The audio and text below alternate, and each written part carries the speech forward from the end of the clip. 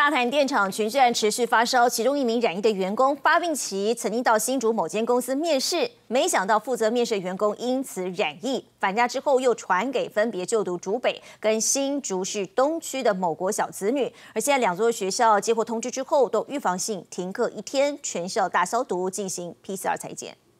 哎，我们口罩拿下来，我们我们口罩。不止新竹竹北某国小特教班学生排队筛检。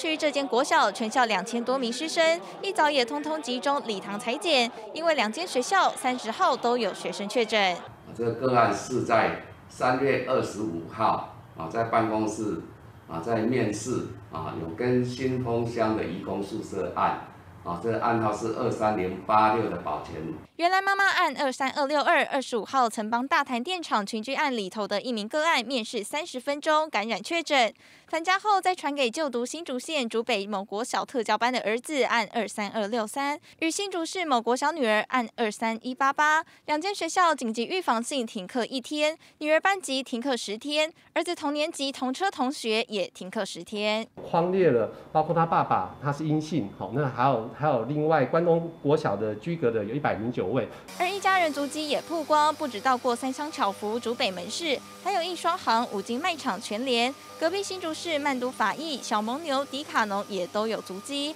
大新竹拉起防疫警报，而宜兰这间国中气氛也同样紧张。二三二五八号，呃，居住在。我们桃园二十多岁的女性是罗东国中的兼任舞蹈老师。宜兰某国中外聘舞蹈助教按二三二七五先出现症状确诊，老师按二三二五八接到消息后也自行快筛阳性，CT 值只有十三点一。每周从桃园开车到宜兰教课，全校预防性停课十天。这个舞蹈老师跟另外一个还没有立暗号的老师呢，以及一位助教，都是在桃园